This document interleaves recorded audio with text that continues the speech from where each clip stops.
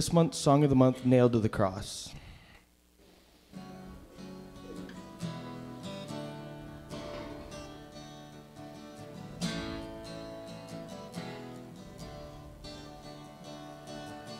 When I stand accused by my regret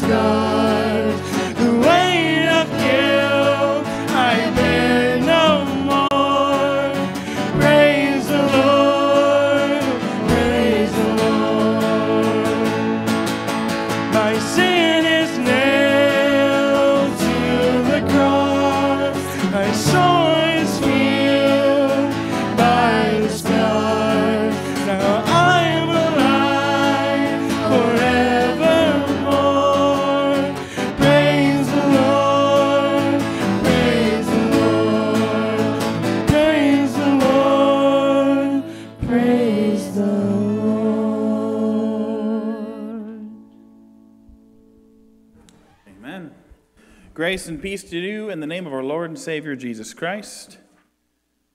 Ah, there's many here this morning like me. Ah, all the busy and bustle and whatnot. Just sing a praise and worship song and a hymn to the Lord and just. Ah, it's good. It's good. God is good all the time and all the time. Amen. A couple announcements. Good Friday service is coming up on the 29th of March. 7 p.m. to 9 p.m. at Centerville Baptist. Centerville Baptist has a new pastor all the way from Georgia. His name is Pastor Shane Burns. So he will be heading that up. And so, Centerville Baptist, March 29th, Good Friday service. I do have a little note here of thanks that I would like to read. If you can bear with me and stand up just a little bit longer. Dear Fish Lake Bible Church family, we are so grateful for all the prayers, cards, plants, and visits following Jim's surgery.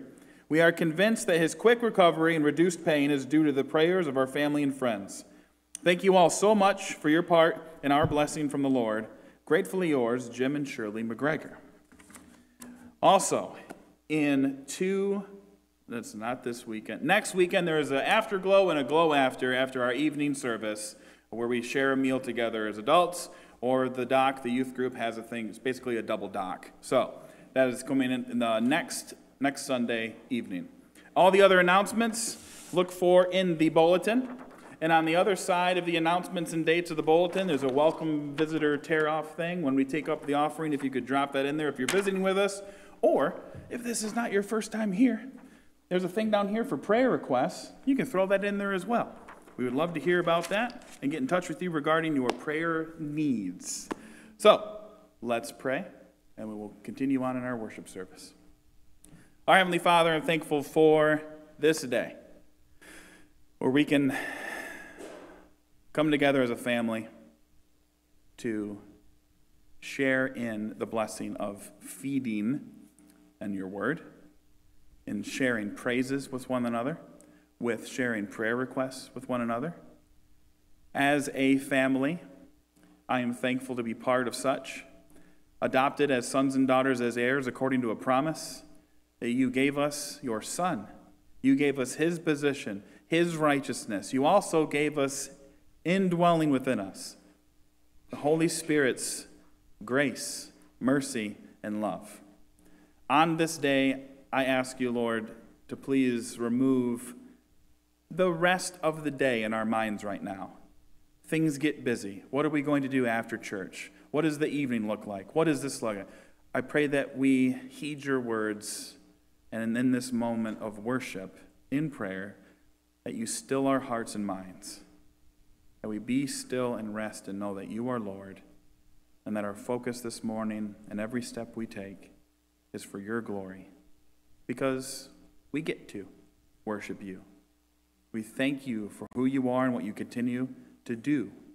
You've called us, you're continuing to equip, and you will see us through to the very end and into eternity because you are good. The sun is shining outside, May the sun continue to shine upon us as we be the light that this world so desperately needs, the light that our households need, and the light on this morning, worshiping and praising you for one another to see your glory and your grace. We ask these things in the matchless name of Jesus Christ. Amen. Greet each other this morning, please, and thank you. As you make your way back to your seats, I ask that you remain standing and join us in singing Nothing But the Blood.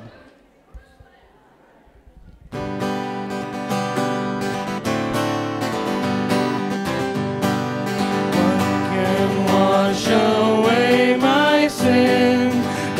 but the blood of Jesus.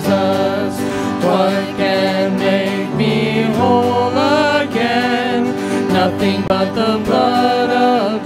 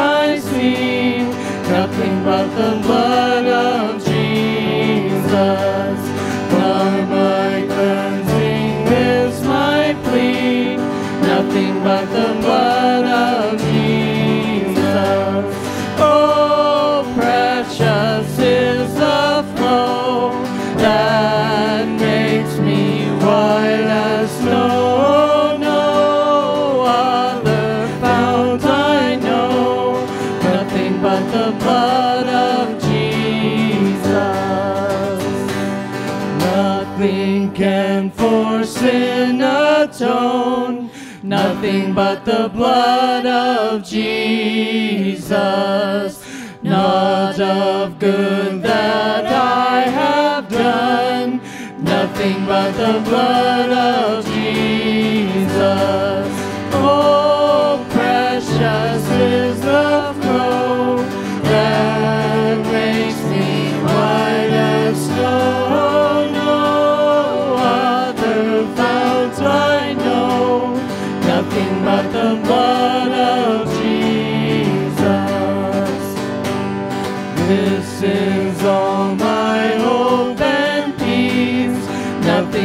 the blood of Jesus, this is all.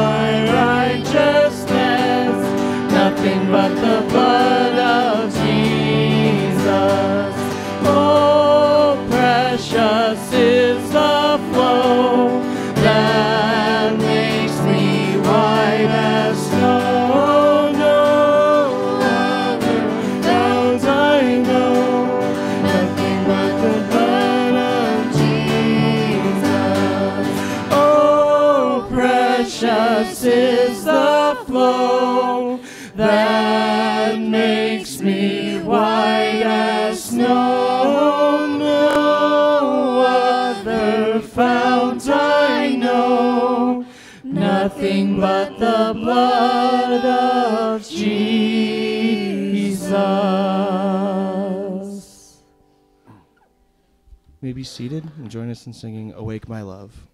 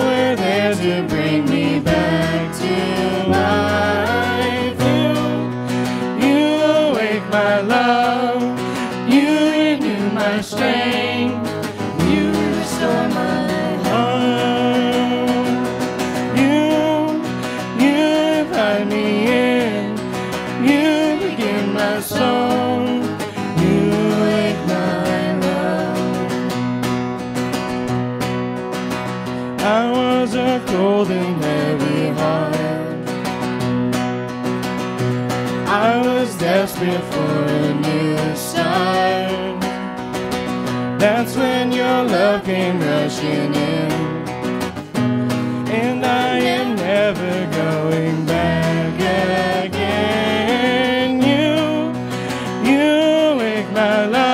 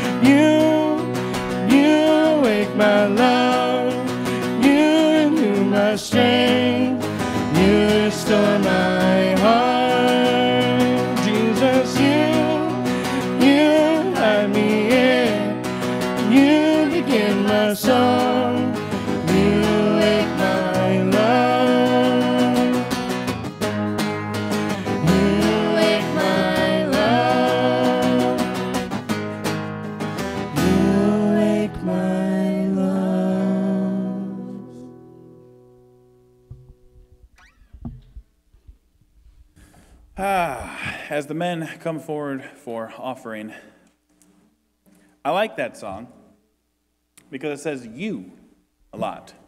I like those. I like those songs.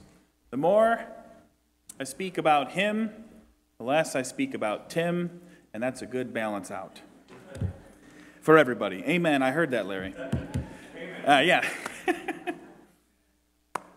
Let's pray.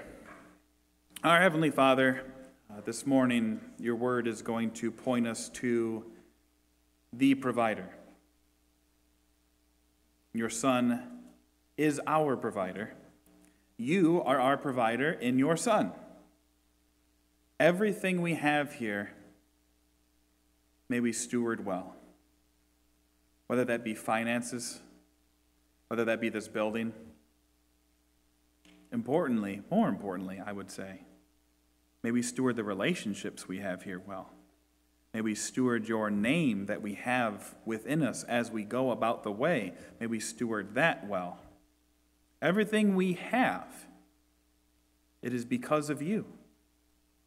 Everything that we have, may it be for you and for your glory. Help us focus on you more than we focus on I. We thank you and praise you. In Jesus' name, amen.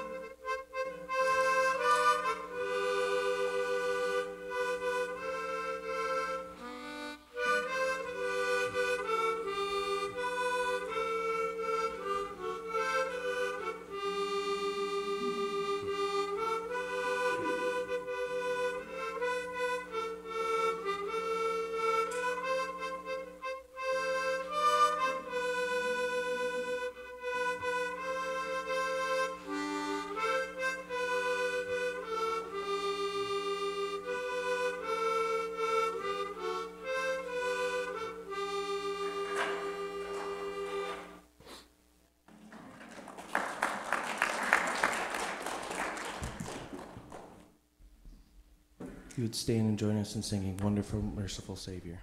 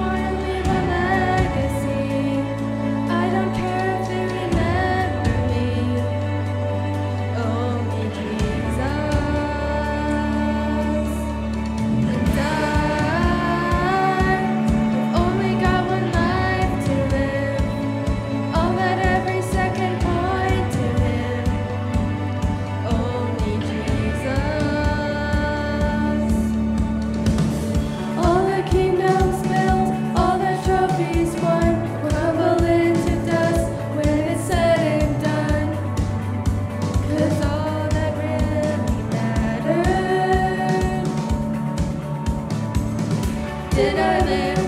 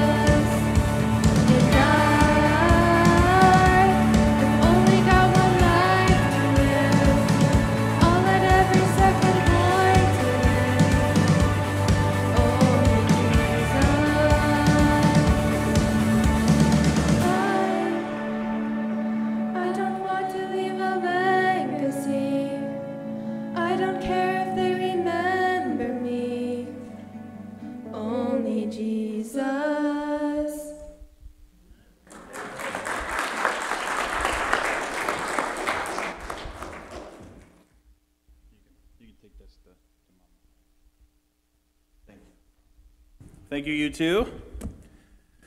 Good morning, all. Again, grace and peace to you in the name of our Lord and Savior Jesus Christ. God is good all the time and all the time. Amen. Today we're going to be talking about feeding the masses. And you may have heard this before. The majority of you have, how many have heard the historical account of the fishes and loaves. I remember hearing this as a child, and if you don't know about me, you're about to right now. I'm picky. I am a picky eater. I am picky about what I do, what I wear. Sometimes I'm even picky about what other people are doing or wearing. I'm picky. My daughter encouraged me yesterday, or was it this morning? I think it was this morning. She said, You always use us in your examples, in your sermons. Why don't you talk about yourself more? I was like, I don't know if that really sounds right, that I, that I should talk about myself more, so I'm gonna. Sitting at the table with my grandfather, my pickiness versus my thankfulness regarding my grandfather's provision of a meal. Sitting down early on uh, in fifth grade, my grandparents took myself and my brother on uh, pretty much adopting us, even though there was no papers signed. We lived with them. They welcome us into their home by grace and mercy and the love that they know from their Savior. They brought in these two Stover boys, about 12 years old, sons of thunder, if you will. We come in, and one of the first things I remember about being in their home was a big old family cooked meal, which I normally wasn't used to. Sitting down, and we do this thing where we talk to this guy when we do this, and better nobody look around, and okay, we're doing that. And then uh, now we're eating some food, and it, I, roast beef. I don't. Little Timmy doesn't like roast beef. Mashed potatoes, sure, as long as there's enough butter and salt. Carrots and veggies, no. It was a good, hearty meal. Would you agree that that sounds like good provisions? My grandpa asked me one time, You gonna eat that? No, I don't like this. Okay. Picked up my plate, scraped it all onto his, set it before me, and he ate the whole thing. Guess what I had for dinner? Nothing. I had regret for dinner. I wasn't thankful what was provided for me. And it was removed. And only then, when it was removed, I was then all of a sudden wanting it and thankful for it and needing it.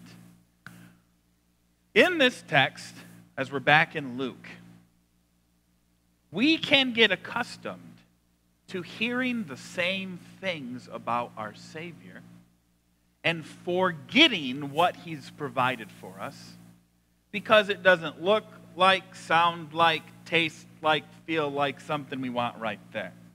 We ought to trust the provider that He is going to give us what nourishes us, and our needs will be met as they have been met, according to the Scriptures, our greatest need in Christ Jesus, dying for us and rising again, defeating sin and death. This text you may have heard many times. I ask that you hear this morning with fresh ears, open hearts, open eyes. Don't tune out. Well, I know all there is about the fishes and loaves. I don't. I know you don't. I know we don't. Seeing the emphasis of this text, the emphasis being Christ Jesus providing for our greatest need then giving that provision to those who handle what he has given them and giving it to the masses. Let's pray. Our Heavenly Father, we, man, does not live by bread alone, but on the Word of God. We're going to see here in this text that a physical need being met through the miraculous, through your Son's provision Help us have wisdom. Help us be thankful for what we have. Be, thankful for who we have in your Son. That we don't start picking apart one another. We don't start getting ahead of Christ, but we rest in what He has fed and nourished us with and that we go out and we, with His word, feed the masses. Not to boast in ourselves, but to only boast in your Son. Only boast in your salvation. Only boast in your gift of grace, mercy, and love. Let us be known by our thankfulness, what we have, and may we share it with others. In Jesus' name, amen. So we're back in Luke. Just a, a, a quick, quick update, quick context for Luke. Luke is writing the Gospel of Luke to Theophilus, who is a Greek. He is recounting the historical account of the gospel of Jesus Christ. And then he goes on to write the book of Acts, which is the Acts of the Apostles, more so the Acts, the Acts of the Holy Spirit within the apostles, as I, I, I prefer. He is a physician. He is a fact guy. He is a student. He is a historian. He is not an apostle. He did not see the risen Savior. He, I, I, I like Luke. Just that little phrase. I like Luke because in his study of the historical accounts of what has taken place, it reflects on, on what we are today, who we are today. Anybody here seen the risen Savior? Not yet. But there will come a day. We are to be students of the Word. We are to be historians. Everybody in this room and outside of it, everyone's a theologian. A theologian is somebody who studies God. Everybody has their own version of God, even atheists. Everybody's a theologian. They have their own beliefs about who God is. Luke, in the hopes of getting the gospel to Theophilus, wanted to do justice and being a student of the word, and so he dove into Matthew and Mark in the text that he's received, and also a third text that's known as Q, manuscript, and he put together the facts of Jesus Christ. What we're going to hit on is a miracle. It is an absolute miracle. And we're going to hit on some arguments that the world has put against it because man has a hard time understanding the simple truth that Jesus Christ has the authority, that he is the Son of God, and that some bread and some fish multiplied is not a great leap for him to be able to accomplish when through him the entire universe was created. We try to logically think about how this could have taken place. And so we take a little portion of Scripture and we start ripping it and picking it to pieces in order to figure out something he said plainly in about five words. He is the Son of God. Everybody was filled, they had leftovers. Fact, fact, fact. All rooted in the provider who started the feeding of the masses Lord and Savior Jesus Christ. They are in a region, they are in a region uh, named Bethsaida. And that is the northeast corner of the Sea of Galilee. And what we have in this text is that people think that there are two Bethsaidas, because if you recall, they, they traveled across from Bethsaida, and then they're going to return to Bethsaida. And so everybody's like, well, there's two Bethsaidas. Actually, this region that they are landed in now, because in other accounts we see that there is a grassy plain. It is not a desert. We will see that it's a desolate place. It is not a desert. There is grass there. It's actually Gaulanitis. It's known as, that phrase is the place of hunting. I find it interesting, even though Luke doesn't mention it specifically or do anything with the name, that this place that they're in is called the place of hunting when really the people were not hunting for anything in this area. I'm a word guy. I, I, sometimes think too much on words, it's a thing. But the place of hunting where Christ resides, it was a provision. They didn't have to hunt or anything, he, he was already there. Everything that they needed, even if they didn't ask for it, was already there in the person of Christ. So Luke, recounting historical good news of the gospel of Jesus Christ to Theophilus. I am starting in verse in chapter 9 verse 1 to build up the context for verse 10. Chapter 9 verse 1. And he called the 12 together, gave them power and authority over all demons and to cure diseases. And he sent them out to proclaim the kingdom of God and to heal. And he said to them, Take nothing for your journey no staff, nor bag, nor bread, nor money, and do not have two tunics. And whatever house you enter, stay there, and from there depart. And wherever they do not receive you, when you leave that town, shake off the dust of your feet as testimony against them. And they, the twelve, departed and went through the villages, preaching the gospel and healing everywhere. Now Herod the Tetrarch heard about all that was happening, and he was perplexed. Because it was said by some that John had been raised from the dead, by some that Elijah had appeared, and by others that one of the prophets of old had risen. Hmm. Herod said, But John I beheaded, but who is this about whom I hear such things? And he sought to see him as the twelve departed, Christ remained there. He equipped them by telling them what they were going to go to do, and don't bring anything with you. Why? You will be provided for. Your needs will be met. Trust Christ. They went out. Where are we at today? Christ remains seated at the right hand of the Father. And where, where are we? We are out. Trusting Him that He will provide all of our needs, that His will will be done.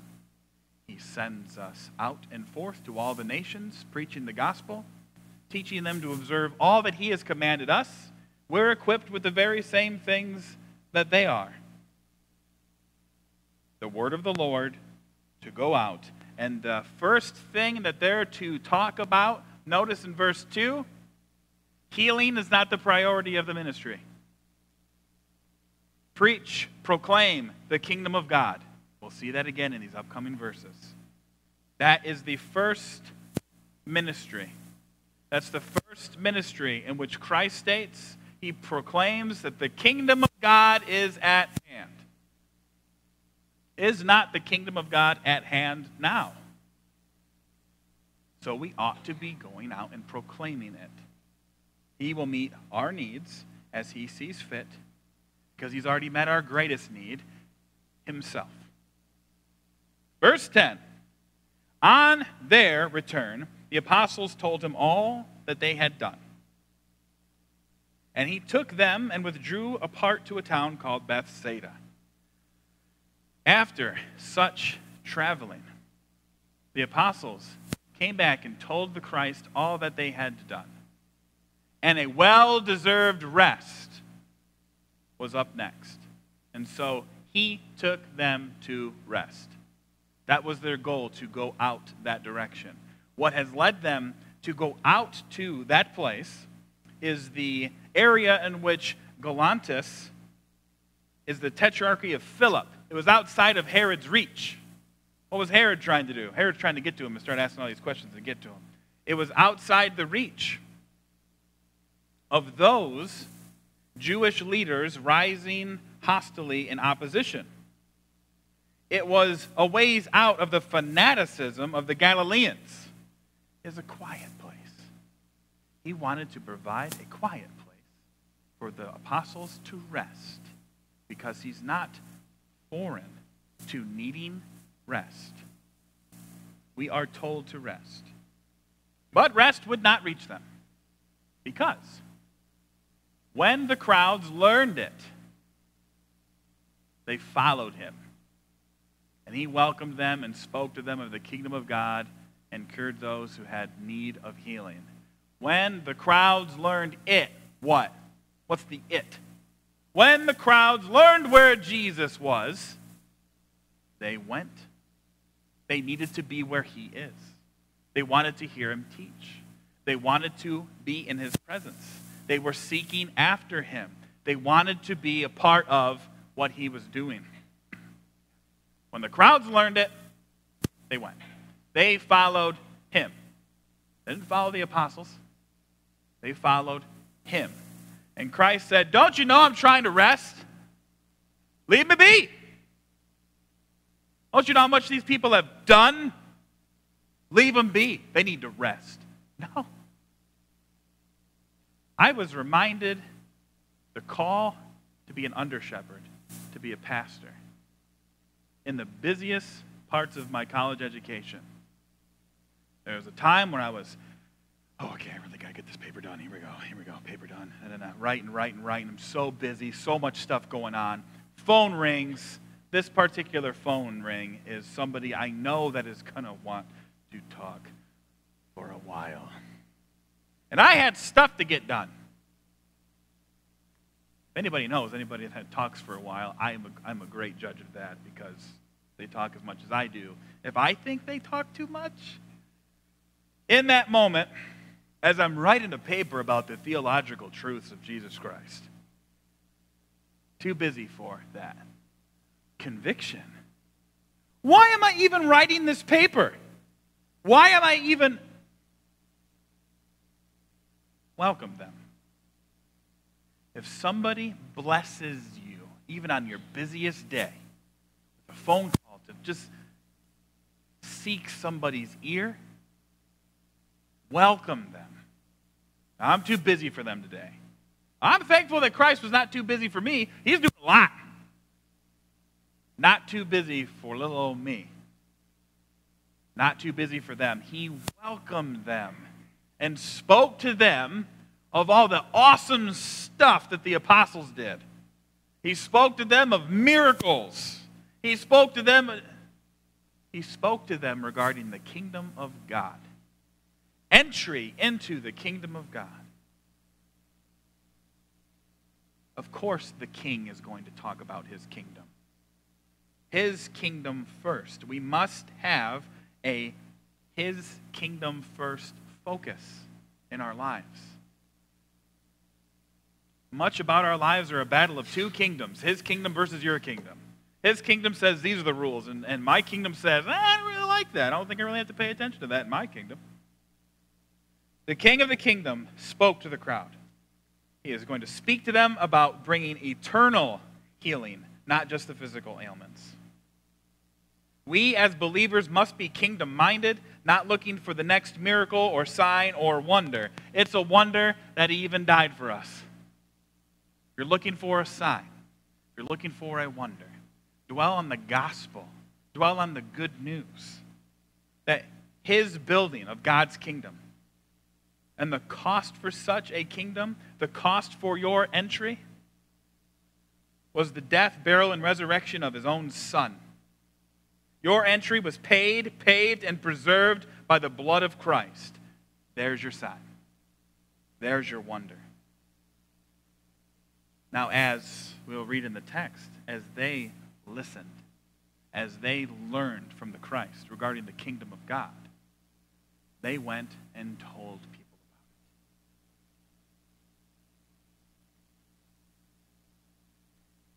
Told people about it when Christ told them not to.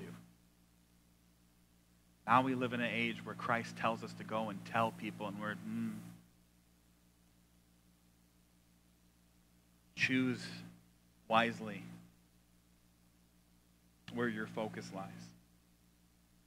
But that does not mean that He does not care about your physical needs. He's provided your eternal need. That does not mean He does not care about your physical needs the disciples are going to make a grave mistake in how they talk to the Christ coming up. Now the day began to wear away. Evening's coming. And the twelve came and said to him, This is like a weird thing with me. Uh, it might just be just be me, but within my family, there are things that don't upset me that my kids do. Sorry, Skylar, I said I wasn't going to talk about you, but here it is. The Lord provides. Um, and there are things that do bother me. One of the number one things, if I can get an amen from any of the men, one of the number one things is disrespect. Nothing? Nobody? Just me. Okay. okay. Disrespect. The 12 came to the, their Lord and Savior and said to him, that like twangs off, off for me. if my children come up to me and they tell me to do something, that a little off? Anybody else? That's a little off to me. They came and said to Christ, Send the crowd away to go into the surrounding villages and countryside to find lodging and get provisions, for we are here in a desolate place. Whoa. It's like a conference. It's like we got to make sure we got a hotel ready, we got to get restaurants in the area, and then we're going to come back tomorrow. Telling him to send the crowd away to go into the surrounding villages and countryside to find lodging and get provisions. What we see here in the text is that those people were not from that area. If they were from that area, they wouldn't need to find lodging, they'd live there. These people traveled to come see their Lord and Savior.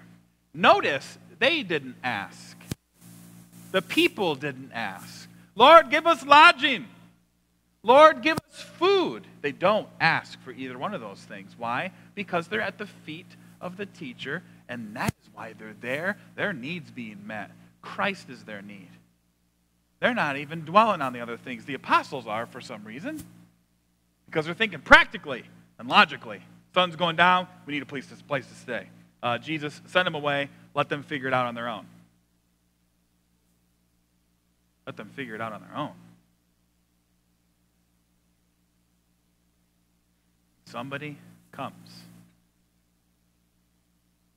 and there's a need for you to listen Share with them the Word of God. Don't just cut them off and send them on their way. Let them figure it out on their own. You didn't figure it out on your own. You had the Word of God that broke your heart and led you to the gospel of Jesus Christ. Don't just send them on their way. Them. Housing or food, their need is Christ Jesus. Get them to Christ. Again, a desolate place, that does not mean a desert.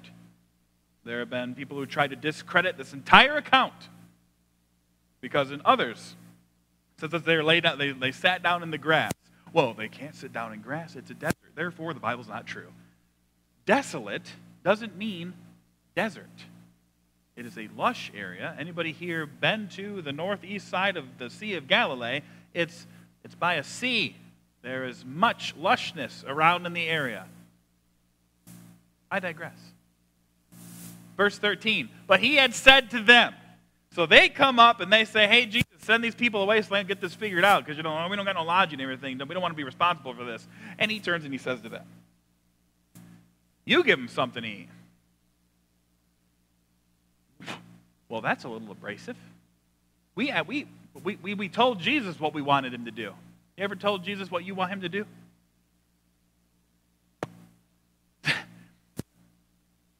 You give them something to eat.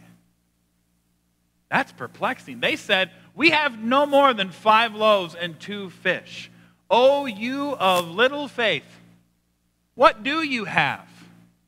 Whatever you have, why don't you share that? Whatever you have, why don't you send that ahead, putting their needs above your own? They were not able to meet such a request. Christ knows this, and this is the focus of this text. Yes, all the focus of all texts is Christ Jesus. The focus of this text is a lesson for the apostles, a lesson for the disciples.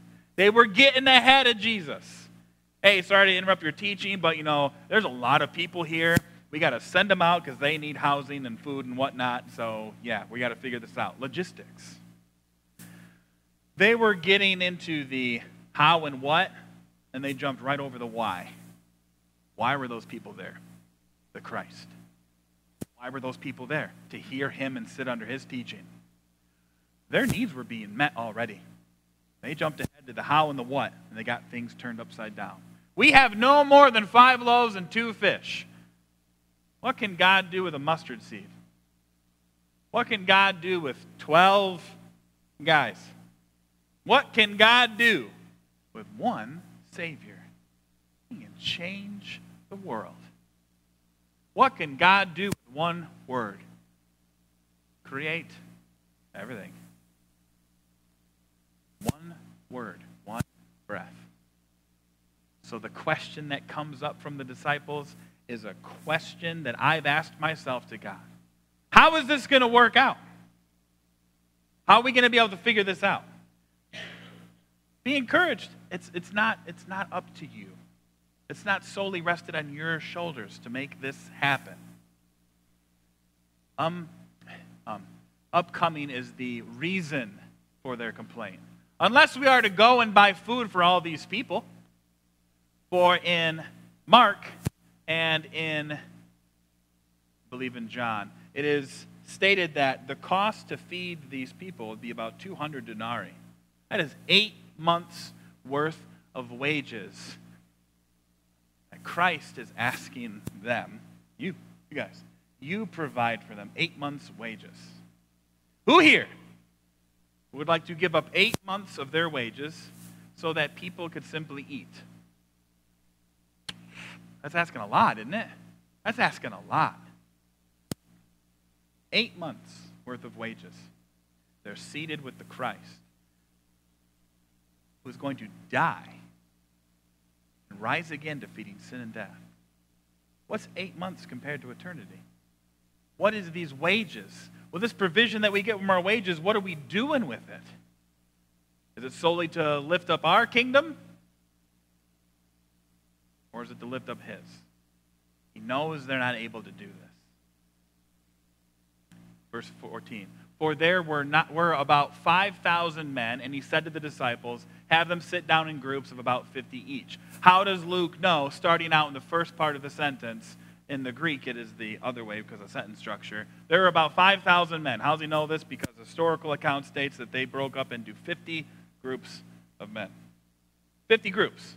So you know 50 groups in his study, you see how many groups there are of 50, you multiply that, you get 5,000 men. That's not counting the women and children. I think that is an important point to think about because he is going to provide and give that bread and that fish to the men to distribute to the women and children. Men, you have a provision of the Word of God given to you. Distribute it to your wife and children. A little parallel there sit down in groups. And they did so and had them all sit down. And taking the five loaves and the two fish, he looked up to heaven and said a blessing over them. This phrasing is not Jesus asking God to multiply it. There is no multiplication emphasis here. In a Jewish blessing, it is that utmost of thanks. He was thanking God that they even had the two fish and the five loaves. He was thanking God for what he had. Lord, do with it what you will. My God, my King, do with it what you will. I'm thankful to even have this. I should have been thankful that that roast beef was even on my plate because there's lots of places that's not even available. But no, I, eh, I don't like this. His blessing was a prayer of thanks. Thank you that we have even this. We believers, Christian brothers and sisters, we have the Christ. We have the Holy Spirit indwelling. What more do you need? Your eternity is sealed. What more do you need? If your bank account today, gone, God's still not in control? If your family, heaven forbid, gone, is he still not your Savior? If this building wasn't here by next Sunday, would we gather and meet as a local body? Is he still not in charge, in control? Trust your provider. We get caught up. We hear the same thing fishes and loaves, the gospel. We get used to it. It's not exciting anymore. We act like a little kid on Christmas when he gets all these toys that he's been asking for for months, and he finally gets them a week later. Eh. But this new toy, that's what I'm talking about. If, only, if I only had that, you will live your life in turmoil if you continually say, if I only had that, if I only had that, if I only had that. Remember that you have the Christ and he has you. That's where your need is met. That's why the people came out to sit under his teaching. The only people that were concerned about the logistics and whatnot were the ones closest to Christ. And they missed the point entirely. These people came to hear the word. These people came to be in the presence of their Savior. Yeah, we got to figure out the logistics. Remember your Savior. Remember that day. But much like Zacchaeus, he called you out of that tree, said, Come here. When he opened up his ever loving arms and wrapped them around you and said, You belong to me, I'm never going to let you go. We get numb to that. Yeah, we know Jesus loves us. Don't ever make the mistake of saying it with that kind of connotations. Yeah, I know Jesus loves me. Yeah, I know that. I've heard it before. I know. Do you? Do you know on this day that the love in which you have from God the Father was laid on that cross in Jesus the Son? And he rose again, defeating sin and death. And he brought to you the helper to help you through everything, meeting your eternal need. Preach the gospel to yourself. When you preach the gospel to yourself, it will humble you. We ought not be focused on the things, on the what, on the how and the what. Let's get back to the why. Let's focus on where we need to be focused. The only people that were concerned about the logistics were those who were closest to the Christ. Oh, they've seen him before. They've heard his teaching before. We got to figure out this other stuff. No, just sit at his feet. Rest in him. He's going to take care of you. These people's needs are going to be met physically. All of your physical needs may not be met. Ultimately, trusting in Christ, trusting in God that His will will be done. And whatever that is, as it occurs in your personal walk and relationship with Him, trust Him that that's going to be the best thing for you. It's going to be difficult. Get back to the why. And he broke the loaves and gave them to the disciples to set before the crowd. And they all ate and were satisfied. Take that to the parallel in Exodus chapter 16. Exodus chapter 16, where we had the Israelites who were grumbling. We used to eat so good in Egypt. What are we eating out here? Getting tired of this stuff. Out of their grumbling, the Lord by grace provided manna. There's that roast beef on the plane over here. This again, their grumbling began. God provided out of grace. Their grumbling continued. These people, they did not grumble. God provided for them, even though they didn't even ask. Their needs were met and they were satisfied. If you're a grumbler, you're not going to be satisfied. If you're focused on everything going wrong in your life, you're not going to be satisfied. If you're accustomed to complaining, you're never going to be satisfied. It's not the next thing I need, the next thing I need. Why aren't they doing what I want them to do? Why don't they look like I look like? Why don't they sound like? Get back to the why. He has met your greatest need. He has given you everything you didn't deserve by giving you his son. He broke the loaves and gave them the disciples to set before the crowd. And they all ate, they were completely satisfied. In Exodus 16, we saw people hoarding the manna, and he told them, Do not take more than your fill.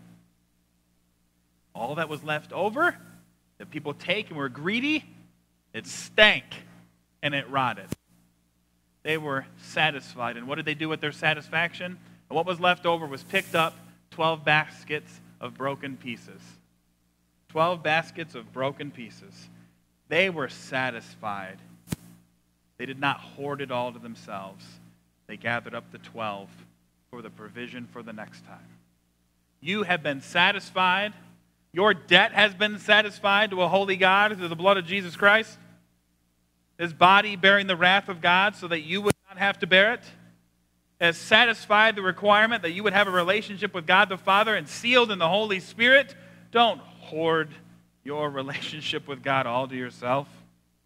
It ought to flow over, it ought to go out, it ought to meet other people's needs.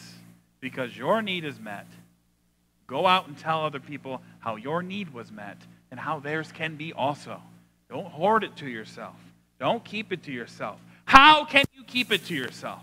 You know how many Kansas City Chiefs fans I had to deal with after the Super Bowl, after they won? That's all they could talk about. If that would have been a rim shot, that would have been fantastic. That's all they could talk about. All they could exclaim was the fact that these guys in modern day armor ran back and forth a couple times and got this wrapped up pig composite skin across the white chalk line more times than the other guys. Christ died for you. Why are you not talking about that? Why are you not shouting that on top of the mountaintops and in the valleys because he owns both and he's there with you in both things? Talk about him. I'm preaching myself much as I'm preaching to you. His word, his life, his death, his defeating of sin and death. Feed the masses with the same thing that fed you vision of our Lord and Savior Jesus Christ in his body and his blood. Broken for you, bled for you. When he came out of that grave, so did you. You are risen with him. The Holy Spirit is with you. Feed the masses. As what was said to the disciples, you feed them with what you already know from me.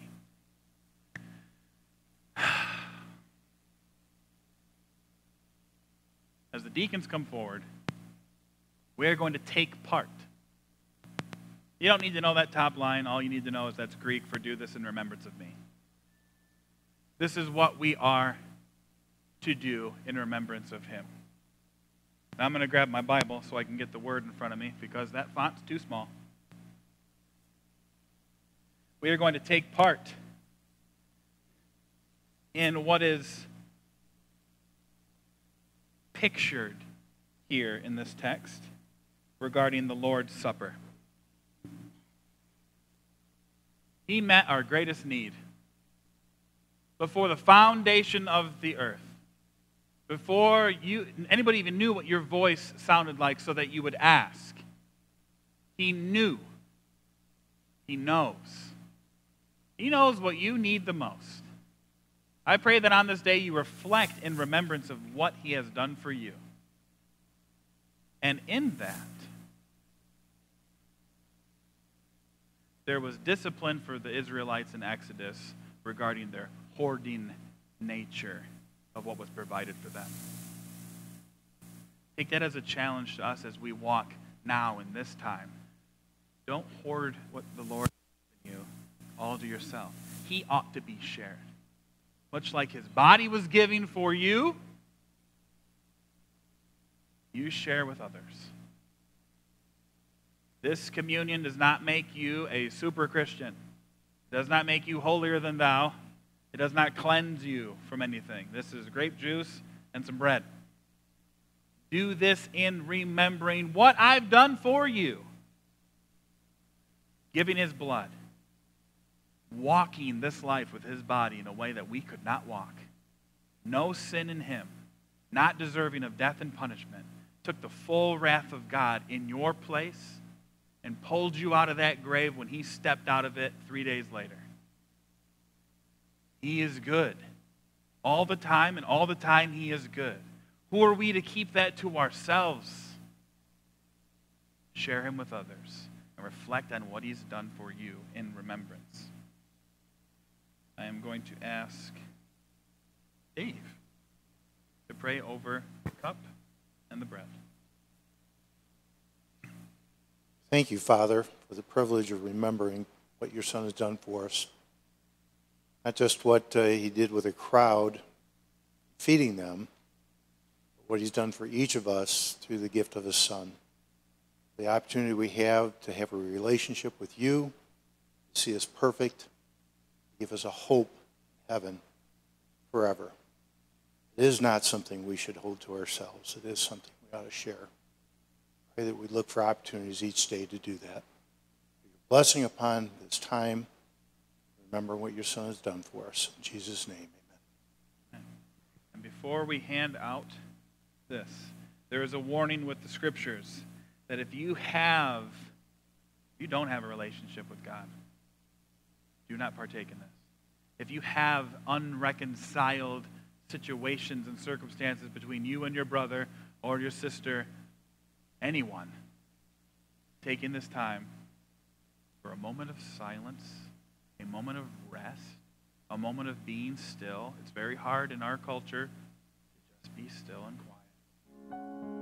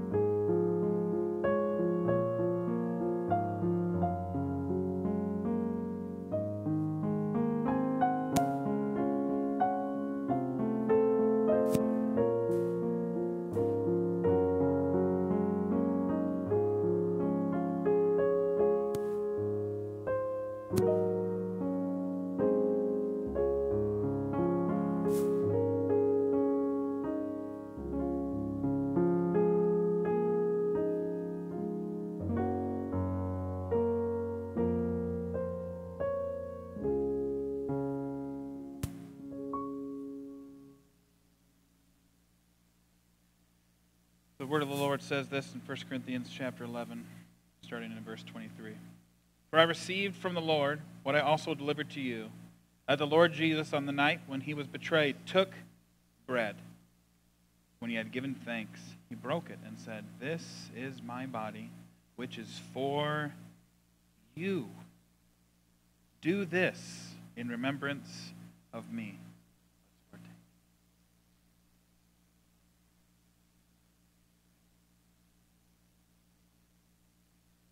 In the same way, also, he took the cup after supper, saying, This cup is the new covenant, the new promise in my blood.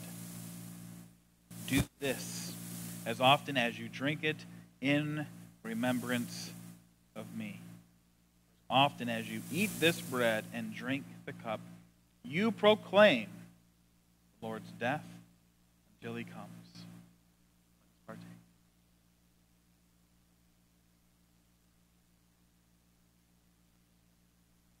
Thank you, my brothers and sisters, for joining with each other this morning and partaking of the Lord's Supper.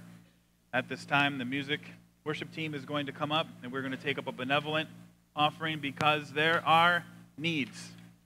There are physical needs that uh, need to be met. And we, as the church, I believe wholeheartedly, should be a beacon of light in order to help people with those needs. Give as the Lord leads. Stand and join us in singing When the Roll is Called Up Yonder. Oh,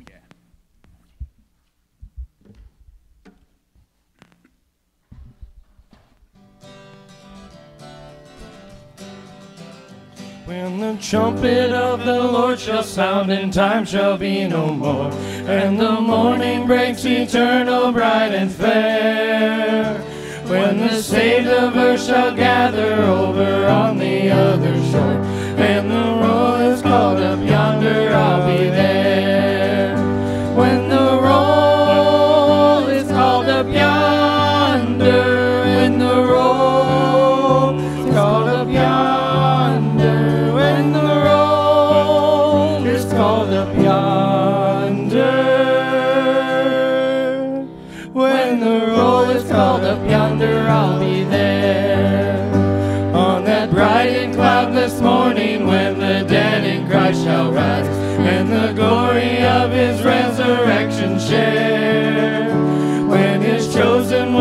Gathered gather to their home.